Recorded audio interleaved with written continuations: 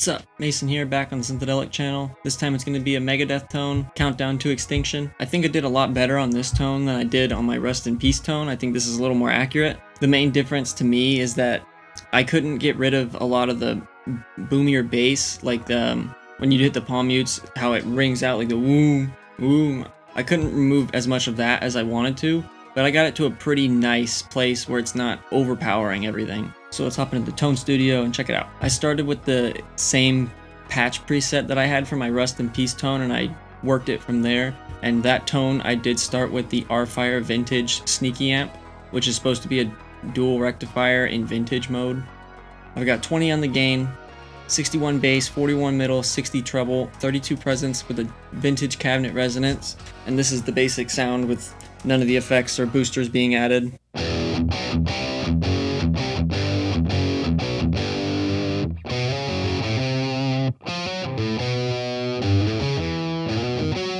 It's not got a whole lot going on.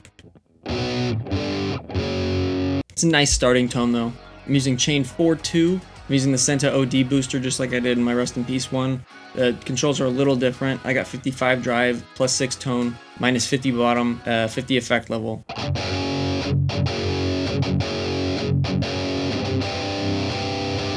I got this graphic EQ, pretty weird. Just what I was just moving around as I'm listening to it, just back and forth, back and forth. I got plus 3 125 hertz, plus 5 500 hertz, plus 8 1 kilohertz, plus 9 2 kilohertz, plus 6 4 kilohertz, plus 7 8 kilohertz, and plus 12 16 kilohertz with the level at minus 5. And with that, it sounds like this.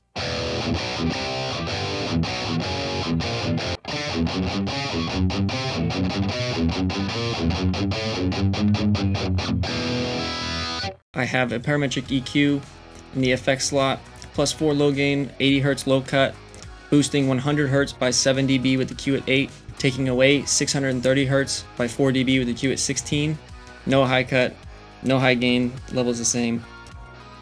I'm using delay 1 to double your input. It's, it sounds more like the recording to me when I'm playing and it's there's a double of me playing on top of that. It just sounds a little thicker. There's just just that doubling delay.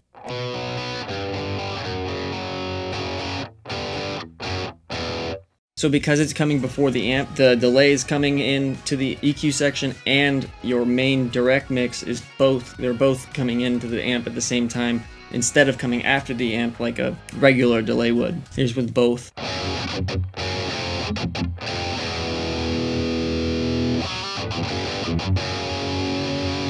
Not using delay 2. I have plate reverb turned on. This is because I was listening to Symphony of Destruction and those beginning hits, there's a lot of reverb going on and I just think it's there throughout most of the songs. I got 1.9 reverb time, 30 millisecond pre-delay, 500 hertz low cut, no high cut, density's at 6, the effect level's at 47, and the direct mix is at 100. I have the solo turned on for the solo EQ. I have a 100 hertz low cut, not boosting the low gain, I'm taking away 4, 4 dB of 250 Hz with the Q at 16. I have a high cut at 10 kilohertz. I'm using Contour 2 with the frequency shift at 47. These two global EQs here, the first one is in amp out position, I have it the low cut at 100, boosting low gain by plus 2. At 800 Hz, I'm taking away 7 dB with the Q at 4.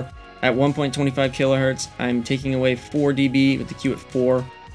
I have a high cut at 10, boosting the high gain by plus 2 with the level at plus 7. On this next global EQ, I have the low gain plus 3, the low cut at 100. I'm boosting up 1.6 kHz by 7 with the Q at 1, taking away the beehive that is 8K by 6 dB with the Q at 1. 10 kHz high cut and I'm boosting the level by plus 3. The noise suppressor on 50, release on 0, and that is the tone.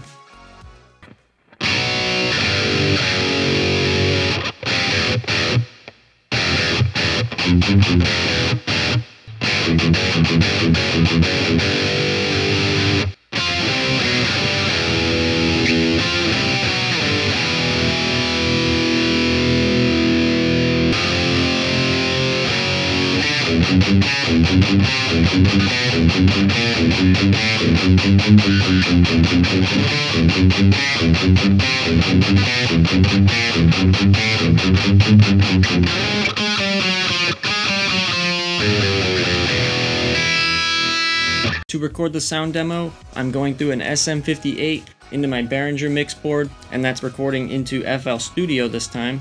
I don't have any of the EQ settings on the Behringer mixer changed, they're straight up and down. This is the microphone placement, and I'm not doing any post-processing at all to the recordings. What is coming out of that speaker is exactly what you are hearing.